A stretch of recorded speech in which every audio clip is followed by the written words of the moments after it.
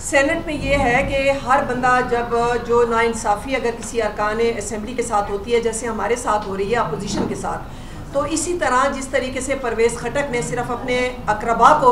یعنی نوازا ہے تو جب وہ اپنے اقربا کو اور اپنی فیملی کو نوازے گا، تو اسی طرح اس کے لوگ جو ہیں، وہ ناراض ہوں گے۔ اور ناراضگی کا اظہار وہ یہی سیکرٹ بیلٹ ہوتا ہے کہ جب وہ اپنے جو اپنا جو سی ایم ہوتا ہے، یا اپنی قیادت کو واضح پیغام ہوتا ہے کہ ہم آپ کی پالیسیوں کے ساتھ متفق نہیں ہیں، اس کو بکنے کا نام نہیں دے سکتے ہیں، اس کو یہ کہہ سکتے ہیں کہ انہوں نے اپنے لیڈر اور عمران خان پہ عدم اعتماد کر کے انہوں نے یہ ثابت کر دیا ہے کہ یہاں پہ اب پی ٹی آئی کے جو لوگ ہیں، وہ اب ختم ہو چکے ہیں۔ آنے والی باری جو ہے، وہ پاکستان پیپلز پارٹی کی ہے اور پاکستان پیپلز پارٹی نے جو ہے، وہ